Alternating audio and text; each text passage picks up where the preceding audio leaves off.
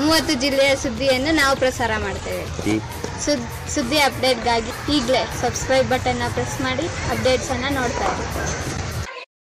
ವಿಜಯಪುರ ಜಿಲ್ಲೆಯ ಮುದಿಬಿಹಾಳ ಪಟ್ಟಣದಲ್ಲಿ ದೇಶಾದ್ಯಂತ ನಡೆಸುತ್ತಿರುವ ಕಾರ್ಮಿಕರ ಹೋರಾಟಕ್ಕೆ ಮುದಿಬಿಹಾಳ ತಾಲೂಕಾದಲ್ಲೂ ಕೂಡ ಅಕ್ಷರ ದಾಸೋಹ ಹಾಗೂ ಕಾರ್ಮಿಕರು ಇನ್ನು ಕೆಎಸ್ಆರ್ಟಿಸಿ ಸಂಘದವರು ಸೇರಿದಂತೆ ಅನೇಕರು ಕೂಡ ಕೇಂದ್ರ ಸರ್ಕಾರದ ವಿರುದ್ಧ ಪ್ರತಿಭಟನೆ ಮಾಡಿದ್ರು. ಇನ್ನು ನಗರದಲ್ಲಿ ರ್ಯಾಲಿ ಮೂಲಕ ಸಂಘಟನೆಯ ಕಾರ್ಯಕರ್ತೆಯರು ಕೇಂದ್ರ ಸರ್ಕಾರಕ್ಕೆ ಧಿಕಾರ ಹೇಳುತ್ತಾ ಪ್ರತಿಭಟನೆ ನಡೆಸಿದ್ರು. ಒಟ್ಟಾರೆ ಏನೇ ಹೇಳಿ ಅಂಗಡಿ ಮುಂಗಟ್ಟುಗಳು ಎಂದಿನಂತೆ ಪ್ರಾರಂಭವಿದ್ದವು ಇನ್ನು ಹೋರಾಟದಲ್ಲಿ ಅನೇಕರು ಕೂಡ ಭಾಗಿಯಾಗಿದ್ದರು.